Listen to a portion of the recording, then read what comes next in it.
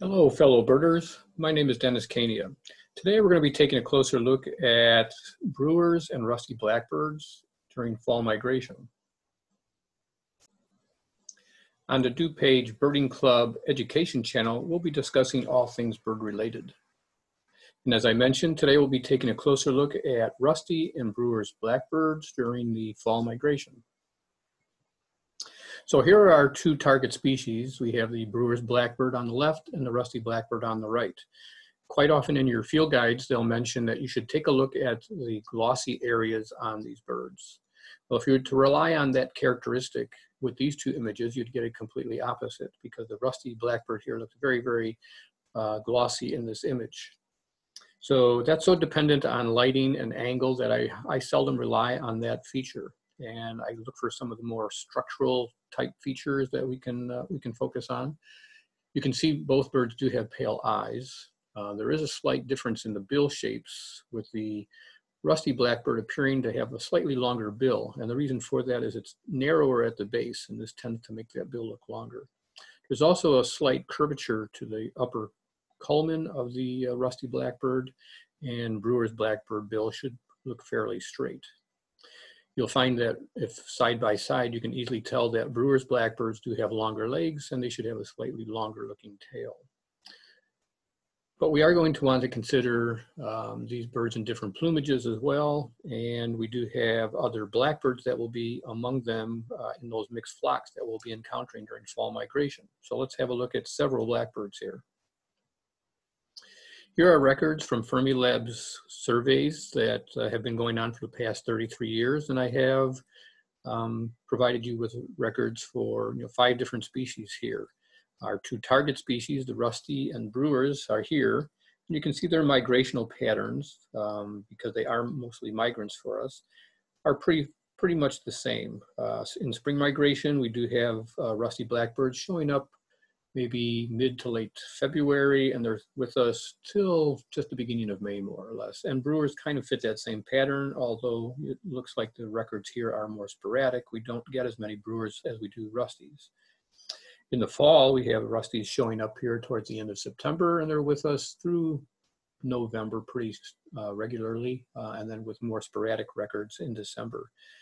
And brewers are coming in a, a bit later. They're with us November and into December. Uh, both species we can find uh, in December and even in January, uh, but those records are pretty rare. So we don't expect to see them very often at that time.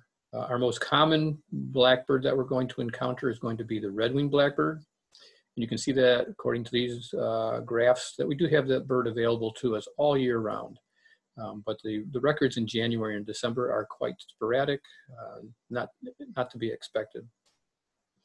So the arrival of uh, red-winged blackbirds toward mid-February um, usually is the beginning of our spring migrations as far as passerines.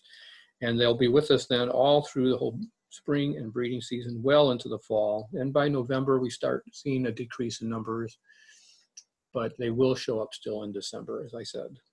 Um, for brown-headed cowbirds and common grackles. We have a similar pattern. They're coming in in um, mid to late February. So shortly after the red wings are showing up, we start to see the brown-headed cowbirds and the common grackles. We do have sporadic records for them in the wintertime, but again, um, not to be expected. Both these two species will be with us through the breeding season and then well into the fall, and they start tailing off in November with brown-headed cowbirds leaving us probably in the earlier part of November and common grackles maybe through till the end of the month. But by the time you get to December, you're not going to have very many records of either of those species. So one of our two primary birds that we wanted to look at today was the brewer's blackbird. And again, if we look at this uh, adult male, you can see that it's all dark. That does have the pale eye, and then it does still carry those structural features that we talked about, the bill shape, um, the leg length, the tail length. If we look at the female, you'll see that she's very gray in plumage. She does have a dark eye. And for the most part, you almost always will find that brewers females will have that dark eye. If we look at um, a first year blackbird uh, brewers um, or non-breeding adult male, you'll find that the body feathers can have rusty edges to them. And so you'll find a lot of that in the head, find that on the back, and maybe a little bit here on the breast. But if we go and look just a bit further, and if we look at the tertials, which are these three feathers here that are stacked up on the secondaries, you'll find that the edges of those feathers do not show any rufous at all. And that's quite different than what you would find on rusty blackbird. In that case, you will find a lot of rufous on those edges. And again, you can also rely upon uh, all of the structural features that we were talking about a moment ago uh, that were, we were relaying to the male. So longer legs, uh, longer looking tail, and that straighter culmen on the bill. And that's all the same case with, all, with this bird as well. If we move on to the rusty blackbird, again, all the same features that we talked about earlier as far as structure. Does have the pale eye, does have slight curvature to the culmen here, narrower at the base, looking, making the bill look longer, shorter legs, and shorter tail. And we see all those characteristics in these images as well. This is a female here. You can see her plumage is quite pale in color. Uh, she does have a very pale supercilium, and we would expect most often that female rusties will have that pale eye. It's not entirely um, counted on, but we generally expect to see a pale eye on these birds.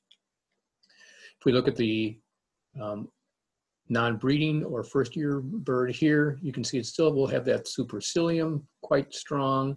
Uh, does carry on with all of those same structural features. We find that there's probably more rufous in the feather edges on this bird than we would find on brewers, and it'll extend down the belly quite far, quite a bit on the back, a lot in the head here. Um, but when we do look to the tertials, we'll see that these edges are actually rufous in color as well. And that's, we'll set it apart from the um, brewer's blackbirds.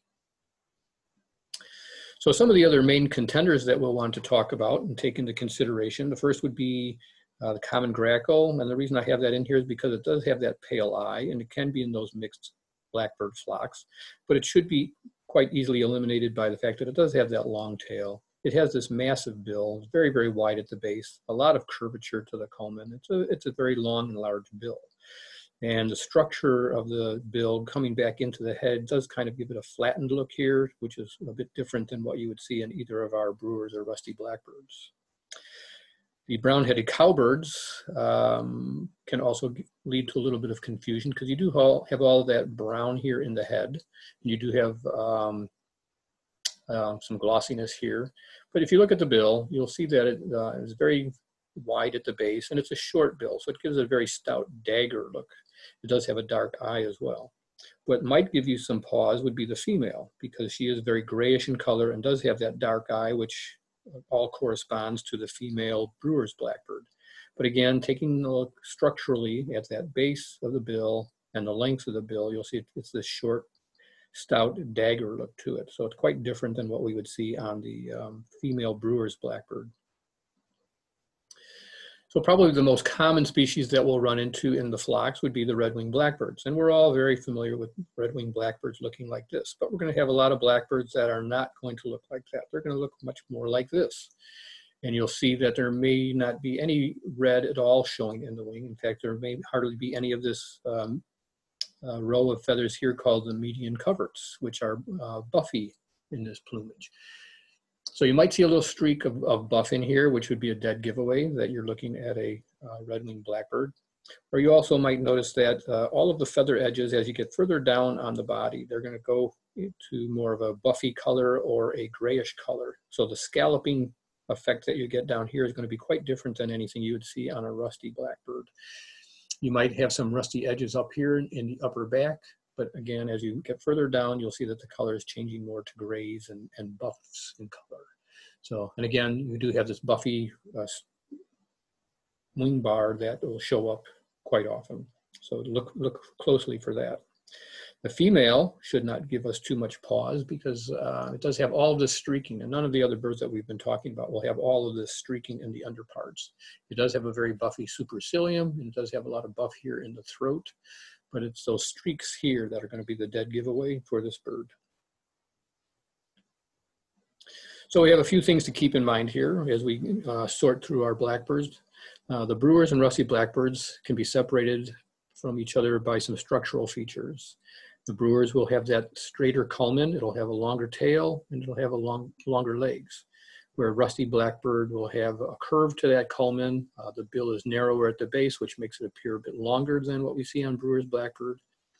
And Rusty Blackbird should have the shorter tail and the shorter legs. Female brewers will almost always have dark eyes, and rusty females will almost always have pale eyes. Males of both species will have pale eyes. The first year or non-breeding male birds uh, of both species can have a lot of rufous edges on the body feathers, but you'll have to look a bit closer uh, at the tertials in order to determine whether it's rusty or brewers, uh, with rusty blackbird having rufous edges to those tertials. And rusty blackbirds can have a more obvious buff supercilium than we would, we wouldn't find that feature on a, a brewer's blackbird. Some of the other contenders to keep in mind would be the common grackle, which is going to have a pale eye, so that's why that's included in this conversation. Um, that looks very much like the males of both brewers and rusty blackbirds. But the grackle does have a longer, more curved bill that is wider at the base, and the common grackle does have a longer tail than both of the blackbirds. Brown-headed cowbird males do have a lot of brown on the head, but the bill is wider at the base and it's short. And so that gives it quite a different look than what we see on brewers or rusty blackbirds. It makes it look very dagger-like and stout. Now the brown-headed cowbird female and brewer's female do have similar coloration, but the bill shape should differ significantly. Red-winged blackbirds might not always show the red in the wing, but they should be at least showing a fine edge of that um, that row of feathers that we call the median coverts, and those should be buff in colors. That should show up um, at least slightly, and you know, with close observation, you should be able to notice that. And as we get further down on the body, uh, you might, on the upper body, you might have some uh, rufous edges to the feathers, but as you get further down, uh, those will turn more to buff or to a gray. And so the scallop look on the lower part will look quite different than what you would expect to find on, let's say, rusty blackbird. And European starlings, which are not a blackbird, uh, might also be in those mixed flocks that we've discussed. And so uh, they look quite different than anything that we've been talking about. Uh, you'll see that the in this particular time of the year, the plumage is quite different. You'll see all the spotting here in the underparts and um, it's quite an attractive bird at this time of year. It does have a dark bill and does have dark eye, so uh, it should be easily eliminated from our, our conversation. So thanks for taking the time to view this video. Hopefully we have given you some bird food for thought, and I hope you'll join us again in the future as we explore all things bird related.